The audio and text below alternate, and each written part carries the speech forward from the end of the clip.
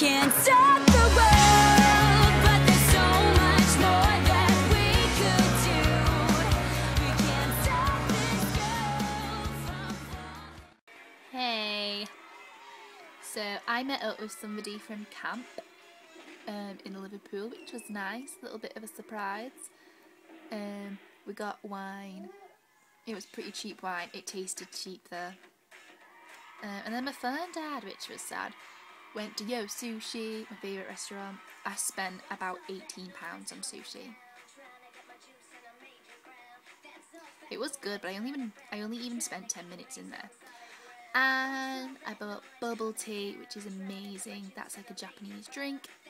And I went to Lush, and I wasn't gonna go in because I knew I'd buy something. And I haven't been in Lush for about four or five months. And it was lovely.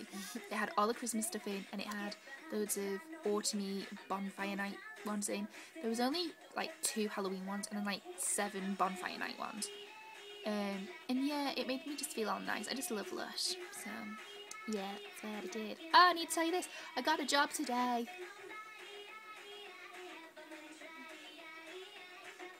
I got a job. Um, this is annoying. I got a phone call this morning like this. It was like, um, excuse me, don't you have an interview with Card Factory today? And I was like, um, no, I don't. Oh, oh, right. Oh, you don't. Oh, um, well, could you come here in, for twelve o'clock? It was already eleven o'clock. I was still in bed. And they were like, I was like, no, like I can't, I can't drive, I can't get there. Okay, what about quarter to one? Yeah, okay. Went to go get the bus. The road was closed, and being an idiot like I am, I didn't think the bus can't get down here. So I waited at the bus stop. The bus drove right past, so I had to get a taxi. But then I got the job, so that is good.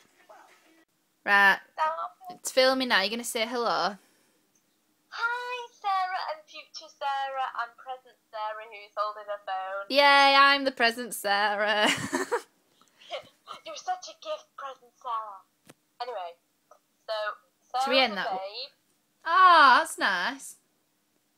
proper misser from camp. Oh, that's cute. Oh, What's going on with this modelling thing? Did you Oh yeah, I'll tell you about that now. I've not told. I'm just gonna tell him. I've not told you guys about that. I'm gonna tell her, and then I'll tell you later. Oh my sweet goodness.